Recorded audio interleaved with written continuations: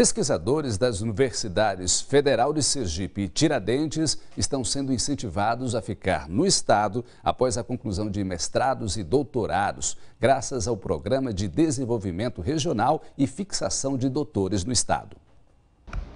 Cristiane tem três anos para finalizar o projeto de pesquisa com material cerâmico para auxiliar no tratamento de regeneração de tecido ósseo. A estudante de Aracaju fez o mestrado e doutorado em Química no Rio de Janeiro.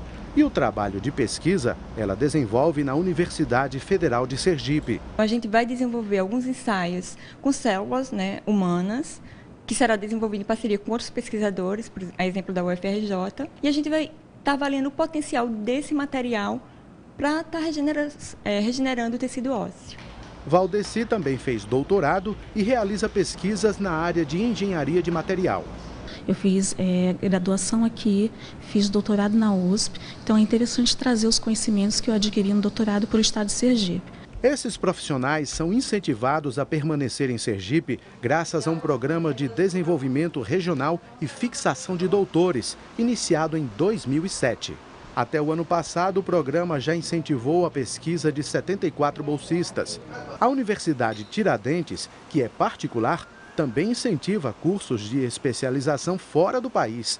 A professora Ada Celestino fez, no ano passado, o pós-doutorado em Portugal.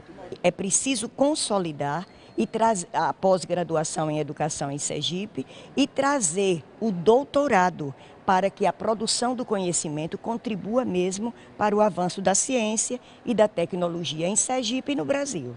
A pró-reitora da universidade disse que atualmente 14 mestrandos desenvolvem pesquisas em outros estados e mais 14 doutorandos se preparam para voltar a Sergipe. Nós também precisamos qualificar os professores que nós temos para dar uma educação, eles darem um ensino, oferecerem um ensino melhor aos nossos alunos. Então, o desafio é qualificar qualificar esse docente e fixá-lo também na universidade.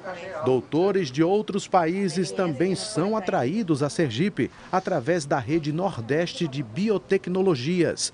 A peruana Rebeca Padilha é uma delas. PhD em Engenharia Química, desenvolve pesquisa na área de biocombustíveis. A área que estamos trabalhando justo é nosso preparo de enzimas imobilizadas para obtenção de produtos de biodiesel a partir de vegetais e óleos de cá produzidos no Nordeste.